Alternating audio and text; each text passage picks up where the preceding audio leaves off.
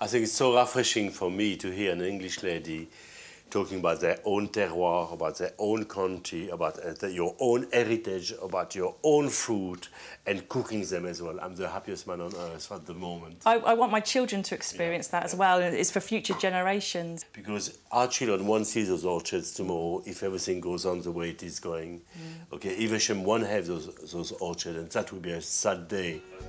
It might be small scale, but Lucy's innovation is using plums that might otherwise have wasted away in the orchard. Raymond, would you like to get me the, the glass jug and we'll, oh, we'll get a, yes, chef. A, a mixture ready? Yes, chef, of course. The plum juice is strained and mixed with some sweet elderflower and water. Then it is ready to taste. For the plums, to live forever in Evesham. Here, Shall here. We? Yay! Santé. Santé. Voilà. Voila. Voila. I'm truly inspired meeting Lucy and her family. Using her local plums, I want to share with you one of my own family recipes. From time immemorial, the pig, and particularly pork, has been associated with plums in every single world culture because it makes sense. It's a perfect communion. The dish I'm about to do is a roast sirloin of pork stuffed with dried plums. The plum we're going to do is actually a Victoria plum. What I'm going to do now is to dry them, half dry them, so to remove some of the moisture, to concentrate the texture, to concentrate the flavor, to give that pig a serious, glorious day, okay? Stone the plums and place them in the oven on a very low heat. It's, it's, a fantastic little trick because you can do so many things dried, so many fruits, apples, pears, all sort of incredible food, okay, which gives a totally different new dish, new ideas. After two hours, we have created a whole new ingredient. And what has happened here you notice they're discolored, they're a bit dry, it's normal, okay? And the texture becomes quite much more chewy, much more firm. And that's what you have, and that's what we want. It's exactly what we want. Otherwise, if I was stuffing this pork with fresh plums, it will be a disaster, really, okay?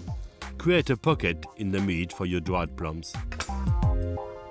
It's very much a builder's job. It's nothing to do with cooking. Very simple.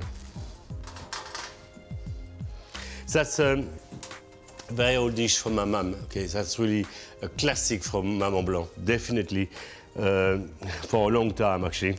And I, I, had the pork, but of course the French would use a different plum. They would use Pruneau d'Agen because of course the French use their plums. They use their orchards. Secure the meat and salt the fat before heating oil in a pan to sear it.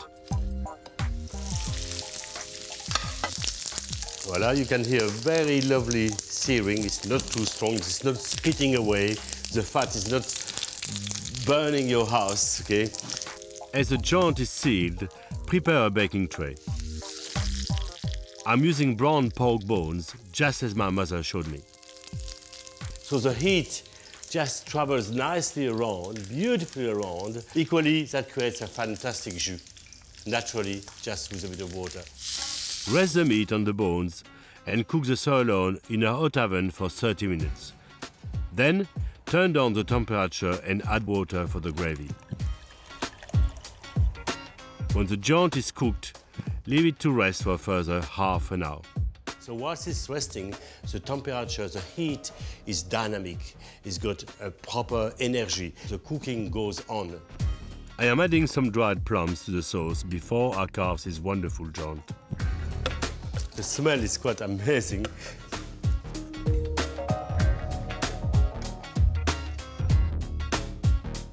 Remember, that's one very old dish from my family. Please, I hope you really enjoy it.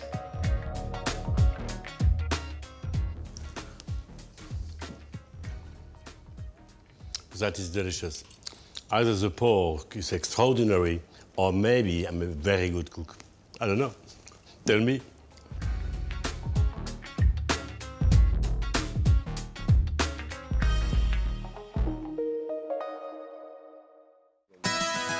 Just eight miles west of Evesham is the town of Pershore, and that's exactly where I'm going now. Pershore has a long connection with plums, and my first stop is at one of the oldest orchards in the area. I'm meeting John Edgley from the Vale Landscape Heritage Trust. What a beautiful old tree. They look as old as me. What kind of orchard it is? This is very much an orchard that is here to preserve wildlife but act as a gene bank for the old varieties of plums. We don't use any herbicides or sprays. We allow the grass to grow long and we, we cut it down just before um, harvest. Mm -hmm. See, there's a lot of dead wood in the trees yep. and that in turn encourages the very rare noble chafer. Mm -hmm. And this area is one of the areas where you'll find the noble chafer. Noble chafers are tiny green beetles. Just like the orchards, they are on the brink of extinction. Traditional orchards are not the only way plums can teach us about our past. Another interesting aspect of plums is that the stones are peculiar to the variety, so they're like a fingerprint. When the Mary Rose was raised from the Solent, um, they used the national collection, mm -hmm. and so they're able to identify the 500 stones that were brought up, which included Mirabelle's, your favourite, mm -hmm. and uh, one of my favourites. I love your, Victoria oh, as well. Remember, okay. But but other um, plums that were around at the time of Henry VIII. Yes. So they're able to identify them by using the stone collection. Yes, because what we forget about it, of course, an orchard is not just about food. It's not just it's about one's heritage, it's history as well. Very much so. And, and of course, people in the Vale of Evesham, they expect to be able to drive around yeah. here and see orchards. And early in the spring, when we have the blossom, then we have people coming from far afield just to go on the blossom trail mm. that mm. we maintain around the Vale. I still believe how we use plums is key to any revival. I'm heading to the center of Pershore, where a local butcher is making the most of his regional crop. I'm uh, just looking for Ken. Where is Ken? Where is he hiding? I'll go and get him for you. Thank you very much. Putting plums in anything he can, Ken Tallis is truly celebrating Pershore plums. Ah, Ken. Raymond. Pleased to meet you, sir. Pleased to meet you. I know you are championing the plums Pershore. Absolutely right. How?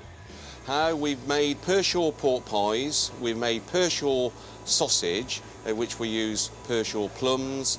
Would you want, like to come round and try I would love to try, okay? Okay.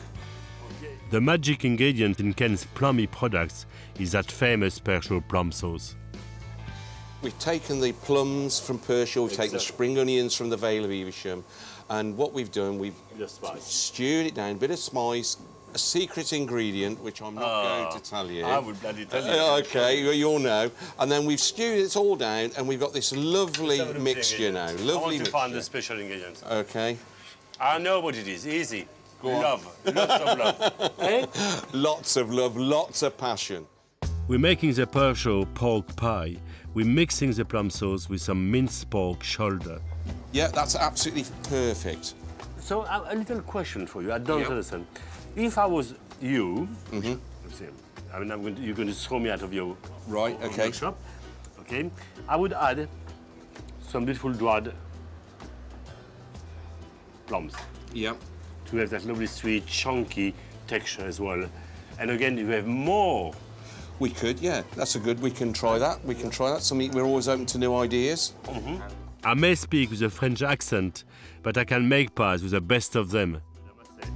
Yours Practice makes perfect. 10 out of 10. Mine is a, it's a bit dodgy, okay? No, it's not too bad. It's, it's like not... Fr- yeah. I'll show you, okay? I'm a very competitive man, don't you dare, okay? Allez, start. Yeah. That's not too bad is it? Not too bad. He's such a, he's such a, he's a bad loser as well. That's 10 times better. The pies are ready for the oven, and I can't wait to try this regional delicacy. Try that. oh, lovely. Very good. What you are doing here this is the very best way to revive an industry, revive a craft. You are using plums in so many ways. What you're doing is fabulous. So bravo. It's it keeps everything local, it's regenerating the yep. plum industry, yep. Yep. and it's regenerating rural crafts. But I would like to see those dried plums in here, okay? I think so I'll definitely take more, you up on that. So you can double your order. the revival is running out of time, but I have one last chance to get you salivating about British plums. Of course, I could eat my plums as they come. au naturel. They are so delicious as they are. Or, I could do something quite extraordinary. Very simple. A little shortbread, homemade shortbread, melting and crumbly, then stewed plums on the top, and a beautiful plum sabayon. I can assure you that is something very special. I, I found the plum to be the most delicious fruit tasty, so many ways to cook it, so many ways to accompany it with different spices, different flavors. They go with, they go with savory, they go with sweet, they go raw as they are. So please must eat your plums. You must and support these fantastic orchards, okay, all across Great Britain. In this tempting dessert, I'm using two plum varieties, the classic Victoria and the very British Marjorie seedling. I could cook them like that, but I'm not going to do it. I'm not going to do that. I'm going to macerate them. And, and that's reminded me my grandma, you know, seeing her, you know, just macerating all sorts of different food, like an alchemist, okay, in her part of the kitchen. It was such a beautiful scenery to look at. This man, woman knowing so well about food. Mix the plums with sugar and lemon juice. Often the sugar, if you add it at the end, it stays outside. Whereas here I want the sugar and the lemon to permeate right at the core of this plum to make, to give you a true plum experience. Then add a dash of plum liqueur. Of course, food has got such a strong connections with memories. Okay, and I always remember my grandfather doing his plum alcohol. In the past, of course, in France, distillating was allowed, was done by everyone. It would be wonderful to see the British you know, growers try to get more licensing, okay, to create their own liqueurs. It takes about one hour for the lemon and sugar to work their magic. Look at this wonderful golden jus. That will add 40% more flavor to the dish, and I say 40%, so it's worth macerating your food before. You add that much more to your experience, okay? Put the plums onto gentle heat. Actually, I'm going to put a tiny amount of pepper, just to set it up, to lengthen the flavor. Can add a lovely little je ne sais quoi to your dessert. Then cover and simmer. So the heat is slowly, quietly cooking them very nicely, still firm. Okay, it's not boiling and stewing everything. Okay, because I want the fruit whole enough. It takes just four minutes to create the perfect cooked plum. Oh, look these colors. Amazing colors. I can assure you, try it. Try those recipes and you will fall in love back again, all the way back again with plums. I'm serving these plums with a delicate shortbread. Parfait. Then a simple sabayon. And that is seriously good. Whisked egg yolks, sugar and dessert wine makes a perfect partner for my plums top with icing sugar, and then glaze.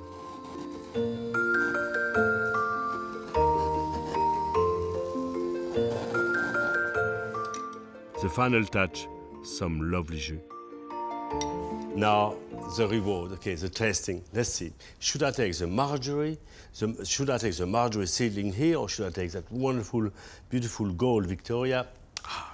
Difficult. Eh? Okay, let's go for this beautiful Victoria here. Perfect. Oh, soft. It is lovely. It's definitely a dish you must do at home. It's a must. And when you're cooking that little plum dish, not only you are giving lots of joy to your family, but you're also preserving your British plum orchards for future generations.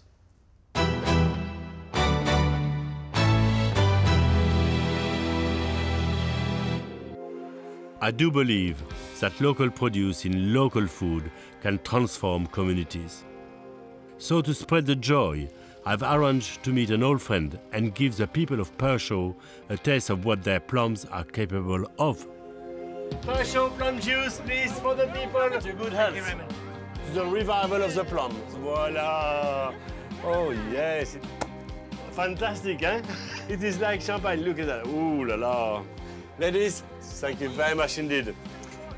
A plum from Pershore, please. Wonderful. I think it's fantastic to see the good people of Pershore lining, okay, and queuing to have these lovely plum juice. If my revival has captured your imagination, then why not visit the National Fruit Collection at Brogdale and taste the 350 British plum varieties? Of course, you could always plant a tree and raise a glass of your own homegrown, homemade plum juice, wine, or even liquor. It has been an incredible